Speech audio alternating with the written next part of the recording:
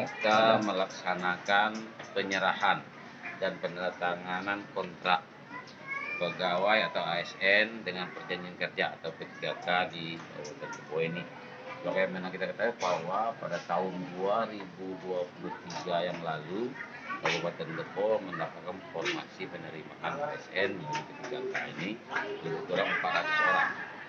Dan setelah melakukan seleksi dan berbagai ketentuan-ketentuan, maka hari ini kita berikan SK-nya, perjanjian kerjanya. Karena kita dari pemerintah daerah sudah siapkan segala sesuatunya dan insya Allah APBD Kabupaten sudah menyediakan alokasi anggaran untuk mereka terhitung 1 April 2024 ini.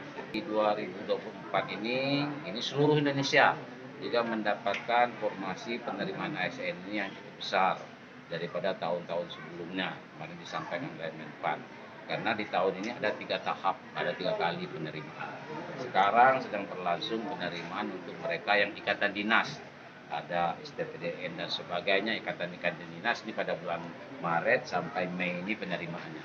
Kemudian nanti ada CPNS, kita di Kabupaten Tebo ini ada 150 orang CPNS yang akan kita terima dan ini formasinya khusus kita alokasikan untuk kecamatan masing-masing kecamatan empat orang, kemudian kelurahan masing kelurahan tiga orang. Kemudian kita dituntut untuk memenuhi kota tenaga teknis di aktif.